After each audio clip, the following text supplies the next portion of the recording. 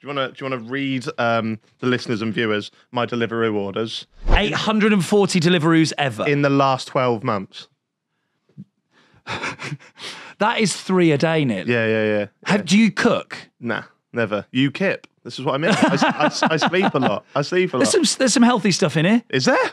Nando's. Yeah. That's two Nando's is fine. Deliveroos a day. There you go. Uh, my my favourite one so far, a Greek food place called Eugreka. yeah, yeah, yeah. That's excellent. My favourite one is the pizza one. The fat pizza.